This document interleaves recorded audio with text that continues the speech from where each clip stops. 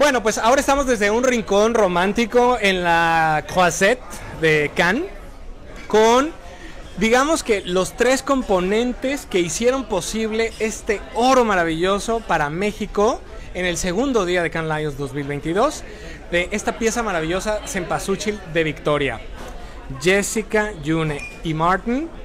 Eh, ahora sí que los componentes Ogilvy, Victoria, Miriam Monks están aquí con nosotros. A ver, ¿con qué abrimos esta conversación, Híjole, ¿con qué no abrirla? Ahora como, primero yo quiero saber qué se siente tener un oro, o sea, yo que apenas estoy empezando y que no conozco, es mi sueño, ¿cómo se siente el recibirlo y bajar la alfombra roja y tener la bandera arriba aquí desde, desde Francia? Es, diría, ¿has alguna vez corrido y de repente tienes chance de descansar? Eso se siente, como todo el esfuerzo, horas de trabajo, desvelos, para arriba, para abajo, cambia esto, cambia el otro, esa copia de trabajo todavía no es, hay que hacerla mejor y todo para, como si fuera un fucking maratón, para llegar y cruzar la meta y decir, we fucking made it. Ahí me, me despierta una pregunta, perdónme, pero todo ese esfuerzo que al final se, recompensa con, un festival de este calibre, ¿por qué la importancia de las piezas ganando? O sea, ¿por qué Cannes le da ese, ese, se requiere todo ese esfuerzo para llegar aquí? ¿Cuál es el impacto de ganar justo a un león? ¿Por qué es tan importante? Creo que el festival, la mayoría de los festivales existen para inspirar a otros a hacer gran trabajo. Ves a alguien ahí, tú quieres hacer lo mismo. Piezas como esta inspiran a más clientes a volverse clientes valientes. June está poniendo el ejemplo como cliente valiente y ojalá cada vez haya más clientes valientes. How do you feel with this? I understand this. Yes. Yeah. I hope I hope my English is good. Um, how do you feel with this golden lion? Am I still smiling? I've been smiling since. Yes. Are, are you smiling too much? No, no, never too much, right? No, we're all very happy at Media Monks and uh, glad to work together with Ogilvy and with uh, Victoria on this.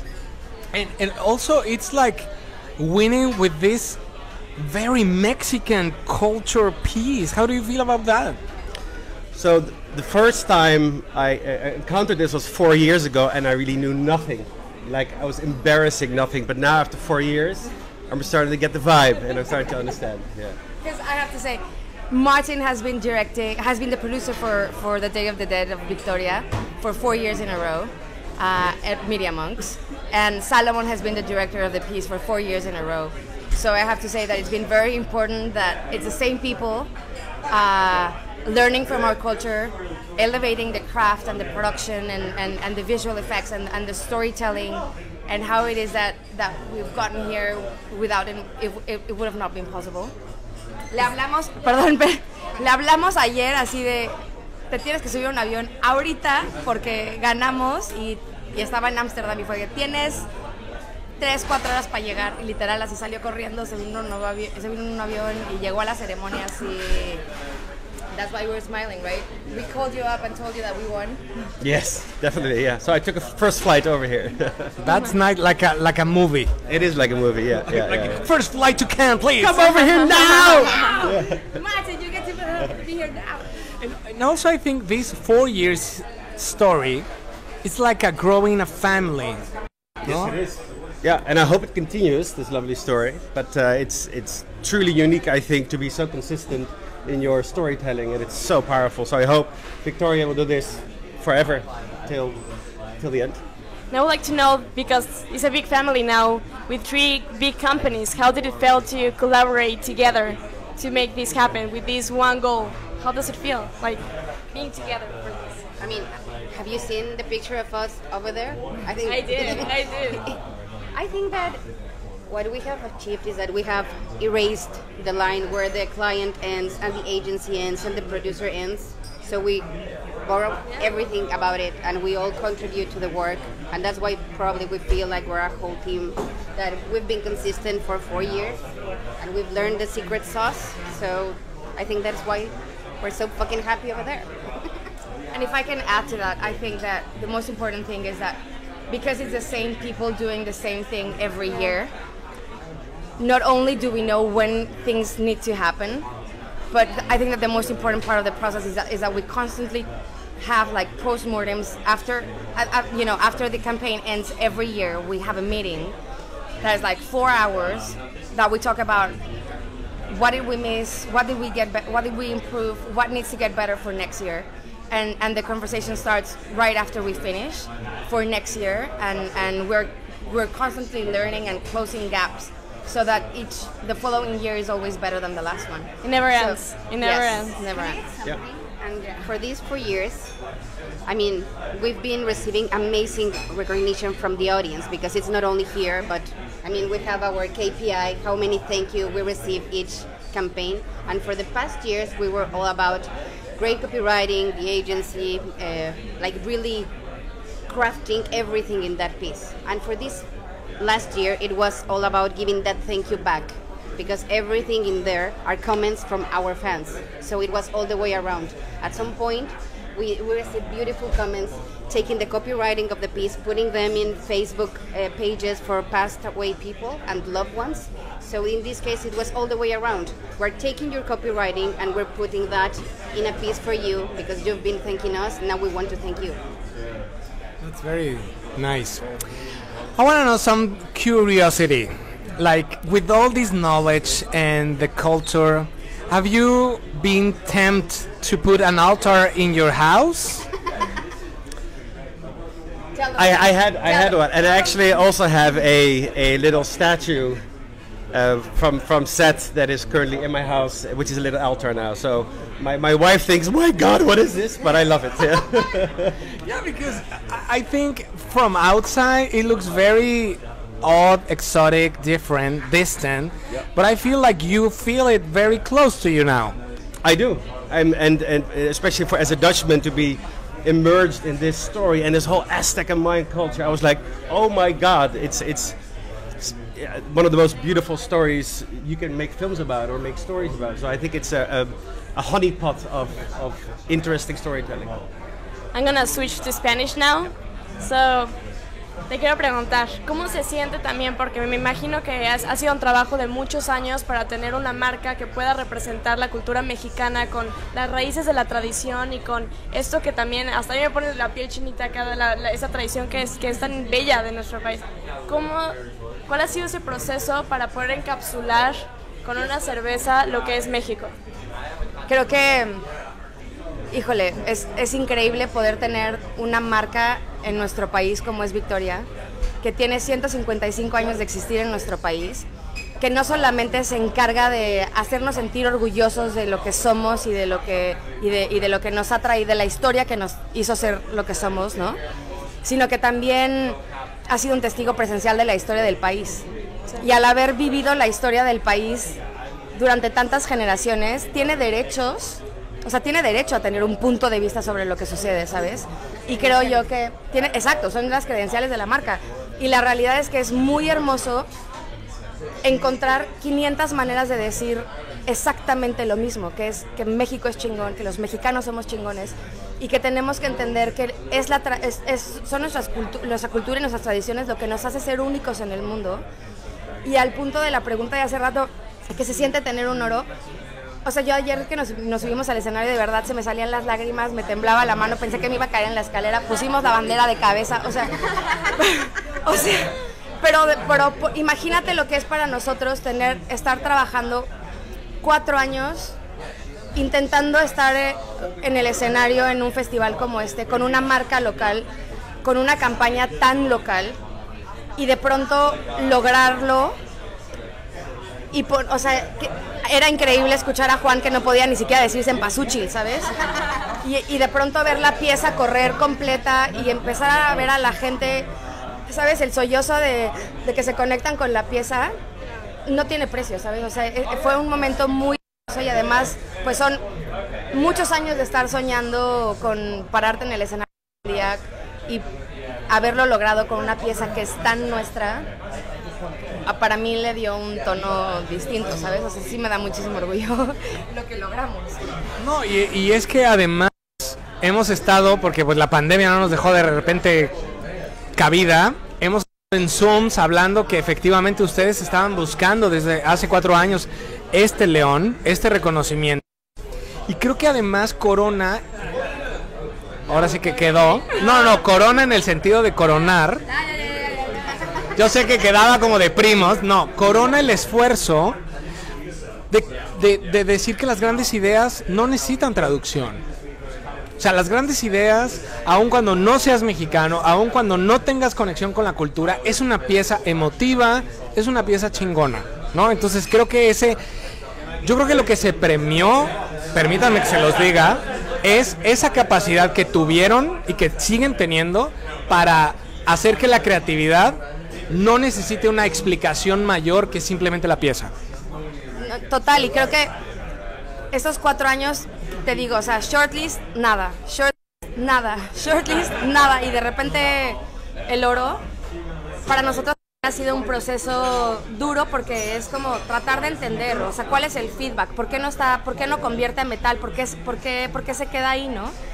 Y, y, también muchos experimentos, porque hubo un año inclusive que sometimos las piezas habladas en náhuatl, en maya creo, ¿no? Y este otro año la metimos hablada en español y de pronto fue como de no, creo que tenemos que someterla en inglés.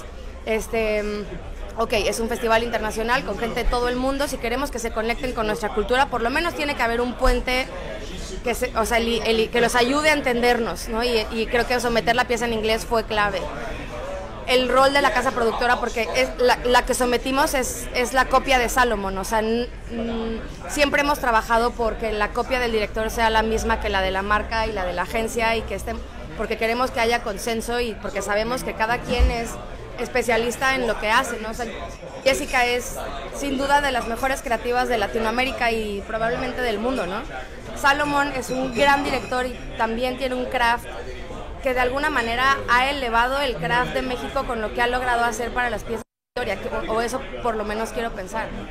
Y de nuestro lado, la responsabilidad de cómo hacemos para que Día de Muertos cada año siga sorprendiendo a la gente, siga conectando emocionalmente con la gente, cuál es el insight de cada año, cuál va a ser el momento en el que la, emocional en el que la gente va a estar cuando la pieza salga. Entonces creo que la pieza de Cempasúchil es particularmente hermosa porque sabíamos que era un momento que se había cocinado durante dos años y que nos íbamos a reencontrar no solamente con nuestros muertos, sino también con los que estamos vivos, porque teníamos dos años encerrados sin vernos y que ese abrazo que nos íbamos a dar nos iba a saber a, o sea, como que estábamos reviviendo nosotros mismos también, ¿no? Que es como la escena esta donde éramos nosotros también de alguna manera reviviendo, ¿no? Y nah. poderlo hacer con, o sea, por primera vez con una innovación, o sea, con el líquido de cempasúchil, pues ya, o sea, eso lo, fue el, lo que lo, lo, llevó a otro nivel, ¿no? And switching back to English, so you don't have that confused face. no worries. Um, so yeah, Dia de los Muertos is not a tradition that we haven't seen before. A lot of brands and also alcohol brands use this tradition in a lot of campaigns.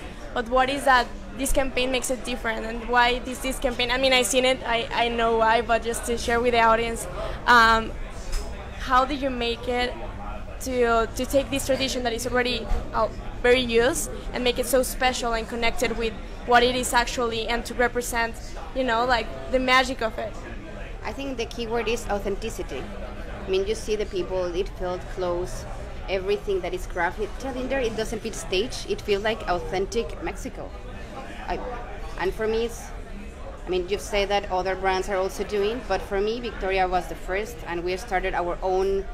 I would say it's our own Super Bowl now. It's, it's in the same um, in the U.S. They have the Super Bowl ads, and at some point we are building up in the country our own Super Bowl that is Dia de Muertos in Mexico. Thanks. I agree. Uh, no comment there. And of course, uh, other brands don't have us, so it's always different, right? no, pero lo que dices es muy cierto. O sea, creo que ya ha habido varios factores que hacen que, que sea una celebración abrazada por la cultura pop, abrazada por el aparato comercial. La desempolvaron, la sacaron de los altares, no porque eso esté mal, sino porque no daba para un abrazo colectivo tan significativo, tan de... Digo, hay que aceptarlo, el social media y todas estas cosas, ¿no? Halloween, we were, yes. Mexico was going so Halloween, and I think we we made it to turn around. And do yes. you remember Dia de Muertos? Uh-huh, uh-huh, cool, and right? It, it, it, it's, it's, es más, es más cool, ¿no? En todo caso. I think that one of the, the feedbacks that was very consistent from the festival to us is that it was going to be really hard to win with a, lo- a local brand with a local insight. So I think that the biggest feedback that, that we got back in 2019 from the festival was that if you're going to have a local brand, you're gonna need a universal insight, like something that anyone can connect, uh, in spite of their national, in spite of where they come from or, or what their culture is about, because they're like true human things that can people always relate to, and I think that this is what we really cracked this time, um, as opposed to the other pieces that anyone can can connect to this piece and empathize because we were all going through the same things, um, not being able to hold each other and, and what it is like to lose a loved one. Um, and, and something else that I, I think is also amazing is that Day of the Dead, like like Jess was saying, is not only a Super Bowl, but it's a meaningful celebration. Like Super Bowl might be like very flashy, um, but the Day of the Dead like can go. It's like a narrow to your heart, and it can. And so using that. Um, It's actually better than the Super Bowl. It has so it's like right? so. it- right? Yes, it is. But it's our own momentum for the whole country to have the same topic. Yep. So what I think that we did is we have a human insight, and if a, a Mexican sees this piece, there are so many hints, like the butterfly, um, the the the the, the cempasúchil petals, so many things that a Mexican, like, there's a human insight with a local insight, and then regional things that someone from Michoacan can connect to. Like there are so many things that are different from someone regarding, uh, you know, depending on where you come from. O sea, can be Michoacán, Puebla, este, para todos es diferente, ¿no? Amsterdam. Or Amsterdam. And Martin, you you're not from Mexico, obviously, and I'm sure you you you share this campaign with all your family and friends. How was the reaction for them to see this campaign that talks about a Mexican tradition? How did they did they connect it as as we all did here in Cannes?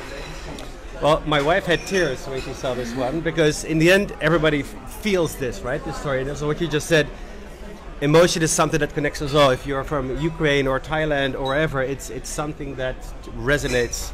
So um, from my perspective, it really works everywhere. Also in Holland.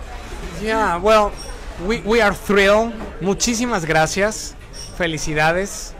Yo, ya saben que tengo mi anillo de, de- de- de victoria, entonces estoy muy feliz también porque tengo así una microscópica parte de ese león de oro De la historia, de la historia. Felicidades. Congratulations. Thank you. Muchísimas gracias. Y bueno, pues aquí están estas mentes maravillosas de la publicidad, de la creatividad. Y nosotros seguimos en la transmisión y la cobertura de Can Lions 2022. Muchas gracias.